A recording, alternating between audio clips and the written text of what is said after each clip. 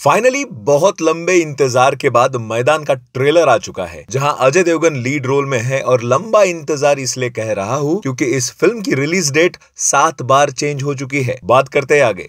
Well well, hello मेरा नाम है योगी और हमारी मुलाकात बार बार होगी। सबसे पहली डेट 27 नवंबर 2020 फिर 11 दिसंबर 2020 फिर 13 अगस्त 2021 फिर 3 जून 2022 फिर 23 जून 2023 और अब फाइनली आखिरी और फाइनल डेट आ चुकी है ईद 2024 की जब बड़े मियाँ छोटे मियाँ भी आ रही है।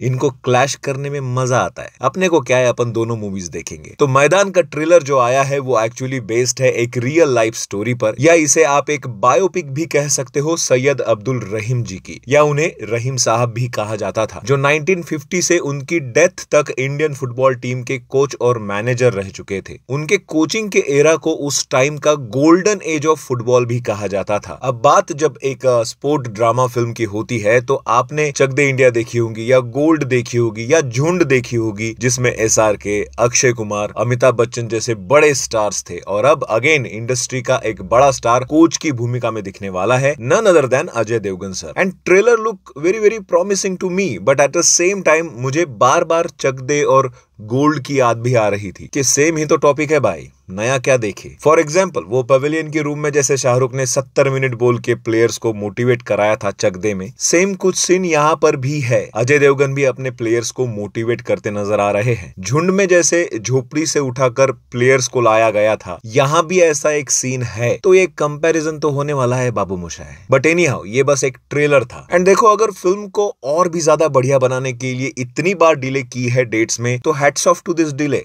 I appreciate the delay actually and I hope कि मूवी अच्छी निकले बट इतना डिले होने के बाद भी मूवी अगर खराब निकले तो मेकर्स हिट के लिए भी तैयार रहना। बाकी अभी जो इनका लाइव इवेंट हो रहा था, उसमें पता चला कि फ़िल्म की कास्टिंग को ही पूरा पूरा एक साल लग गया था, क्योंकि फ़िल्म एक बायोपिक है और ऐसे प्लेयर्स सामने लाने थे जो एक्टर्स तो है ही प्लेयर्स भी हो, जिनको फुटबॉल खेलना आता हो। एट द सेम टाइम उस जमाने के, उस टीम में जो प्लेयर्स ने खेला था, वो एक्टर्स उन प्लेयर्स की तरह दिखने भी चाहिए। तो हाँ कास्टिंग में मेहनत तो लगी ही होंगी। एंड जो मेन कास्ट है, वो तो अच्छी है ही, अच्छी लग भी रही है। अजय देवगन, गजराज राव, प्रियमणि वगैरह। बाकी प्लेयर्स कैसी एक्टिंग करते हैं, वो तो फ़िल्म में ही देखना पड़ेगा। बट ट्रेलर्स में गूज वाला मोमेंट वो नहीं था यार ऑनेस्टली और मूवी आप बीएमसीएम के साथ ला रहे हो तो कहीं ना कहीं नुकसान तो हो ही जाएगा। एनीवेज फ़िल्म पहले आने देते हैं, उसके बाद ही पता चलेगा कि मूवी कितने पानी में है। आपने देखा है ट्रेलर तो मुझे कमेंट में ज़रूर बताना, आपको कैसा लगा। मिलता है अगले वीडियो में।